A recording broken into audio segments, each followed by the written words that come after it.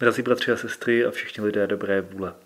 Jeden z nejpůsobivějších momentů v celém roce v katolické liturgii je onen zlom eh, při květné neděli z onoho Hosana Mesiáši, Hosana králi Davidovu, Hosana Ježíši Kristu.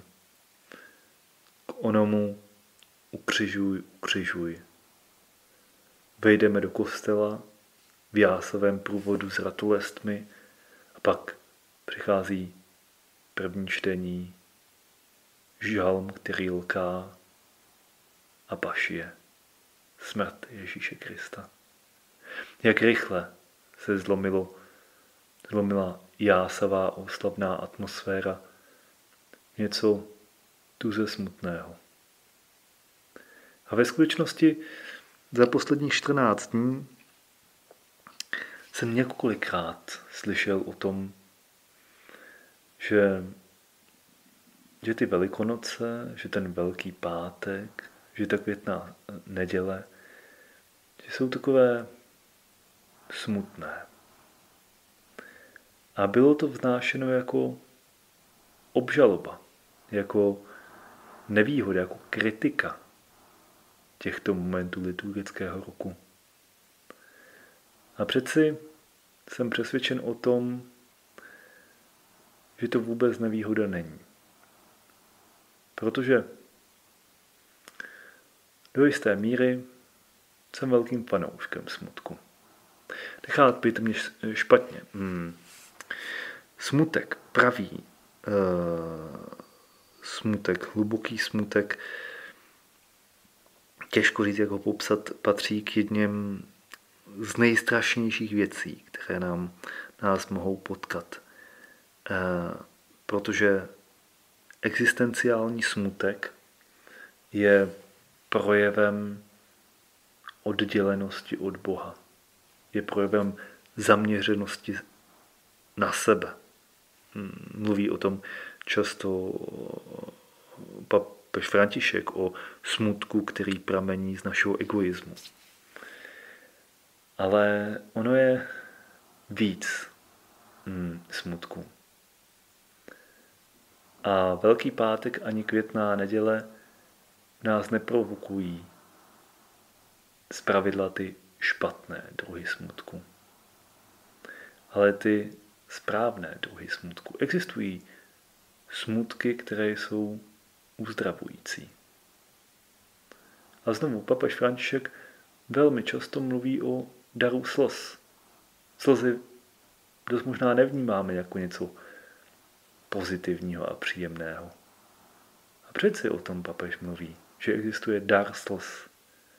Dar, dar slz nad svojí hříšností, nad svými hříchy, nad svojí nedostatečnou láskou k Bohu. Smutek, jinými slovy, nad svojí odděleností od Boha. Smutek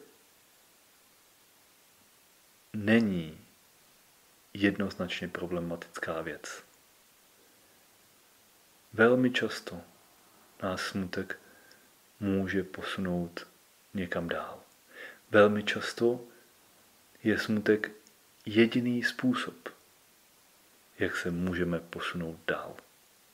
Velmi často Bůh sám v nás uh, plodí, probouzí smutek. Ten druh smutku, o kterém mluví svatý Ignác, když říká, když jdeme po špatné cestě, tak ďábel je ten, který nám dává eh, eh, ten, který nám dává lehkost a vzrušení a pěkné pocity.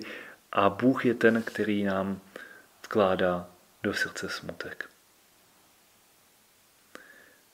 Existuje druh smutku, který nám dává pochopit, že jdeme po špatné cestě.